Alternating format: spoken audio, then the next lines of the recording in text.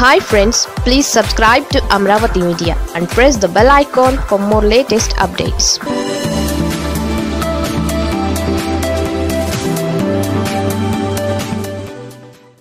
విజయసాయిరెడ్డిని వరించిన మరో పదవి స్వయంగా ఉపరాష్ట్రపతి నియామకం. అధికార వైఎస్ఆర్ కాంగ్రెస్ పార్లమెంటరీ పార్టీ అధినేత రాజ్యసభలో ప్రతిపక్ష నాయకుడు సభ్యుడు వి. విజయసాయిరెడ్డికి అరుదైన అవకాశం లభించింది. రాజ్యసభ వైస్ చైర్మన్గా ఆయన ఎంపికయ్యారు. ఈ మేరకు ఉపరాష్ట్రపతి రాజ్యసభ చైర్మన్ జగదీప్ ధన్కర్ కార్యాలయం ఉత్తర్వులు జారీ చేసింది. రాజ్యసభలో ఉన్నంత హోదాను పొందడం ఇదే తొలిసారి. ప్రస్తుతం ఆయన వేర్వేరు కమిటీల్లో కొనసాగుతున్నారు. లోక్సభలో కూడా వైసీపీకి చెందిన పెద్దారెడ్డి మిథున్ రెడ్డి ప్యానెల్గా స్పీకర్గా వ్యవహరిస్తున్న విషయం తెలిసిందే.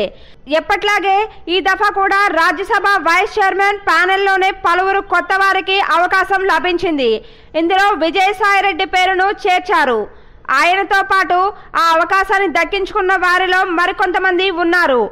అస్సాంకు చెందిన భువనేశ్వర్ కలిటా కర్ణాటక నుంచి ఎన్నికైన కాంగ్రెస్ సభ్యుడు డాక్టర్ లంకప్ప హనుమంతయ్య ఉన్నారు. తమిళనాడులో అధికారంలో ఉన్న డిఎంకే సభ్యుడు తిరుచి శివ ఒడిశా నుంచి బీజు జనతాదళ్ సభ్యుడు సుస్మిత్ పాత్రను కొనసాగించారు.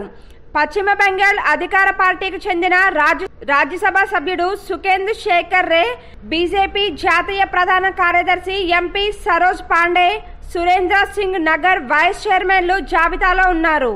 ఇది వరకు నేషనాలిటీ కాంగ్రెస్ పార్టీ సభ్యురాలు వందన చావన్కు మరోసారి అవకాశం లభించలేదు. ప్యానెల్ జాబితా నుంచి తప్పించారు.